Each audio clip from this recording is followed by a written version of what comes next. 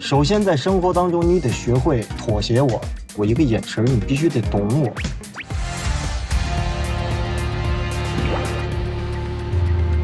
但观众真的是很不懂啊，扯内衣肩带是啥意思？由中国男星张翰担任编剧主演的新戏《东八区的先生们》，开播没多久就争议不断。先是一幕女主角王小晨滑倒的画面，张翰手扯王小晨的内衣肩带才扶住女方，让观众实在无法理解，批评场面夸张又多余。没想到新集数中又出现疑似自肥画面。